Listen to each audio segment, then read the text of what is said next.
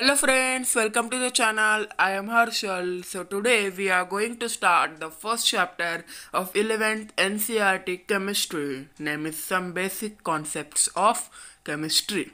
So let's begin. Come with me.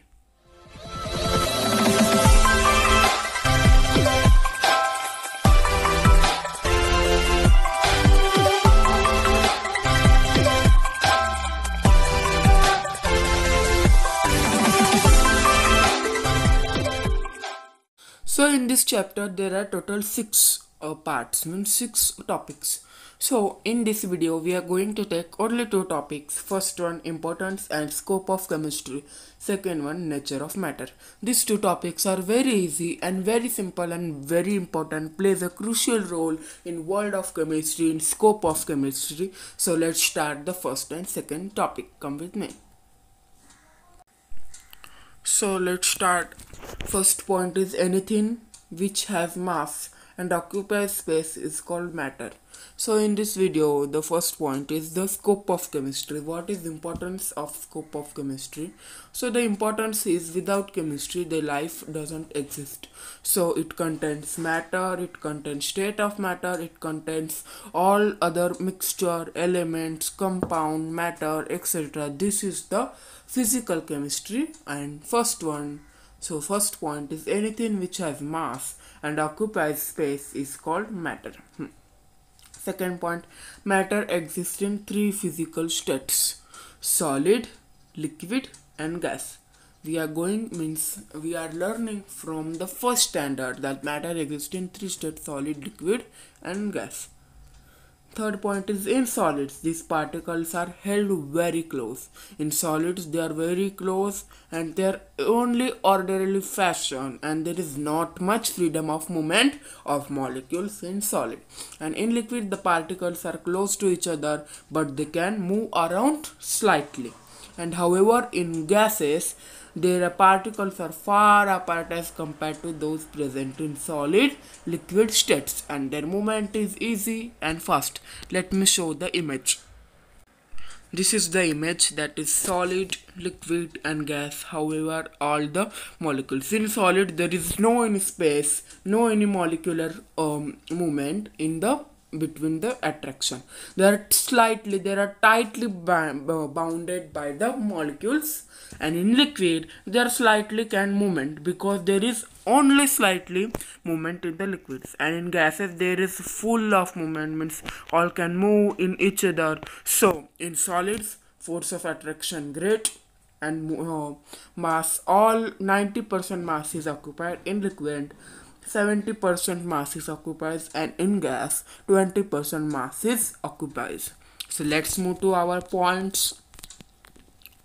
So our next point is solid um, physical properties of solid liquids and gases so in 9th standard we already learned that solid have definite volume, definite shape, liquids have definite volume but not definite shape and gases have neither definite volume nor definite shape. They are completely occupy container which they are placed and liquid take the shape of container. We are going we are learning from the 9th standard. Now next point is mixture. So next point is mixture. What is mixture?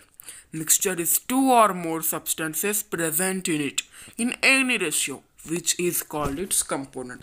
Mixture is a two or more substances present in it in any ratio is called mixture. For example, H2O. H2O is mixture. In this hydrogen is uh, 2 ratio and oxygen. Is means hydrogen and oxygen are bonded in ratio of 2 raised to 1 they're covalently bonded to each other in ratio of 2 raised to 1 so it is the ratio in which two elements are in two or more substances present in an what we can say mixture in ratio of 2 raised to 1 that is called the water molecule H2O this is one example. And the mixture may be homogeneous and heterogeneous. In 9th standard or in 7th standard also we learned that the mixture have two types, homogeneous and heterogeneous. So what is, uh, one minute. What is homogeneous mixture? Homogeneous mixture is a component mixed with each other and its composition is uniform. Means it is a mixture in which the components mix with each other with composition is uniform. For example sugar solution. Yes means for example water is solvent sugar is solute. When we see sugar completely dissolve in water and forms a solution so that why the composition is uniform. So ratle matlab composition is uniform in a mixture so that is homogeneous. For example sugar solution and in heterogeneous the composition is not uniform and non-uniform throughout the sometimes the different components can be observed. For example the mixture of sugar grains and pulses.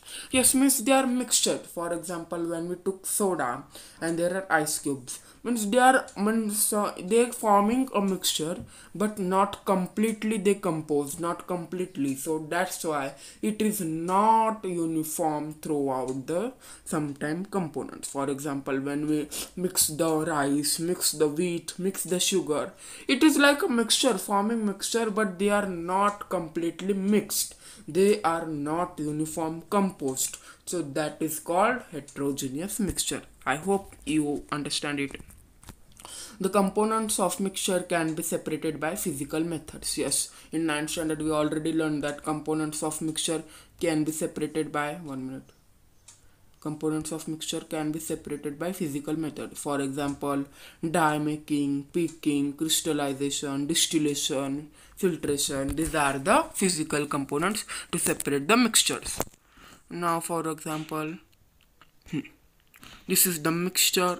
One minute हाँ these are the picture of heterogeneous and homogeneous mixture heterogeneous homogeneous mixture particle distribute uniform means all are mixed uniformly but in heterogeneous that it is not uniformly means for example all grains are here all rice are here and only one part of rice is here. So particle distributed non-uniformly and particle distributed uniformly. This is the main composition of heterogeneous mixture versus homogeneous mixture.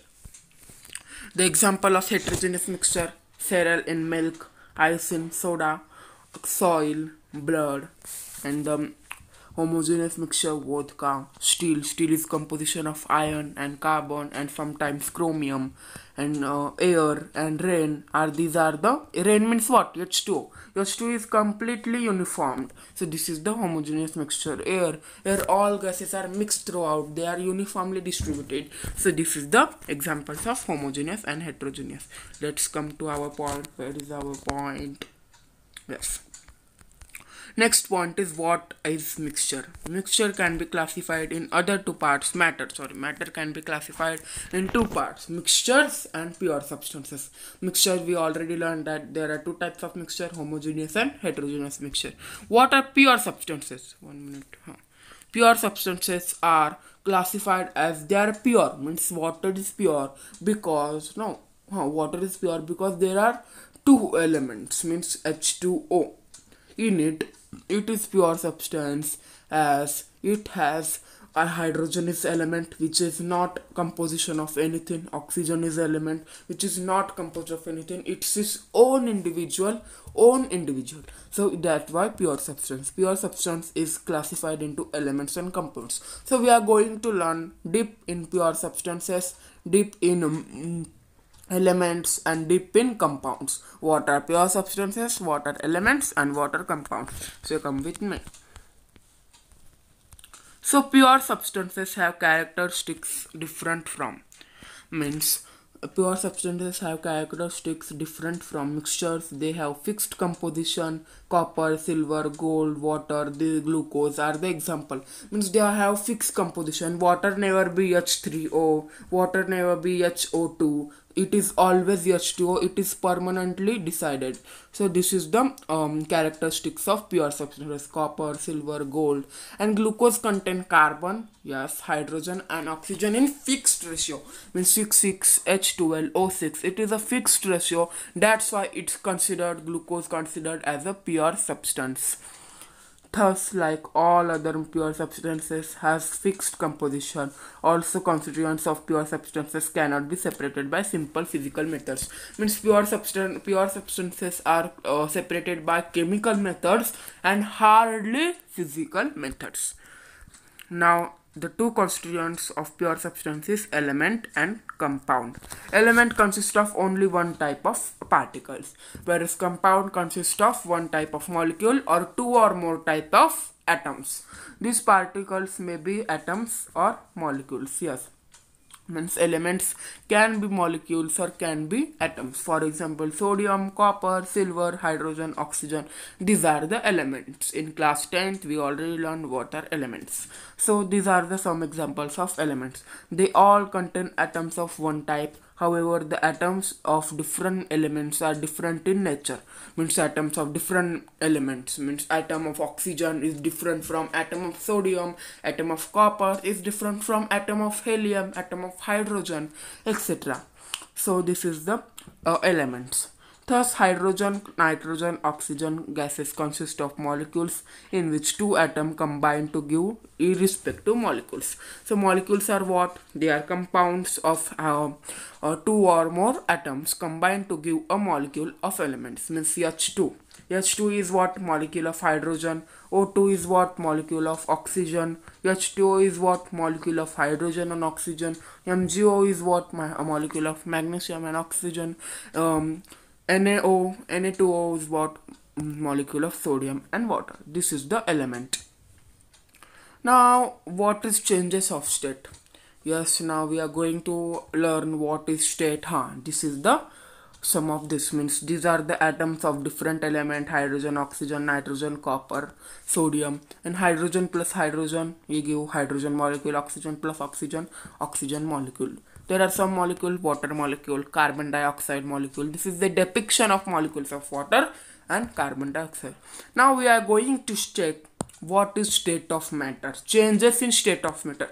Means what is the process where solid changes into liquid liquid changes into gas gas changes into liquid liquid changes into solid and solid into gas and gas into solid.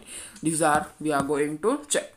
Changes of the state so first of all, solid changes into liquid. That is simple melting. And solid changes changes into gas. No, sorry. Solid changes into liquid. It is melting. And liquid changes into solid means water to solid. Simple freezing. Solid to liquid melting. Liquid to solid freezing. One minute. Hmm.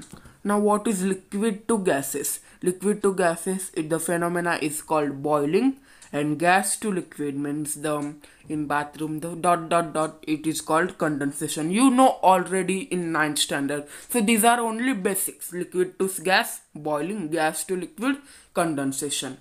Now what is what happen when solid changes directly Solid changes directly to gas. This is called, yes, naphthalene balls are the examples. This is called the sublimation. And when gas changes into solid directly, this is called the deposition. For example, what we can say, frost in uh, countries like England, London, there is very cold. That's why the air means the moist air means the cold air changes into ices. It is called deposition. It is the new phenomena in the 11th standard. So our video finished. So if you like this video, share to share with your friends, share with your group, subscribe to my channel and hit the like button. So bye bye. See you in next part.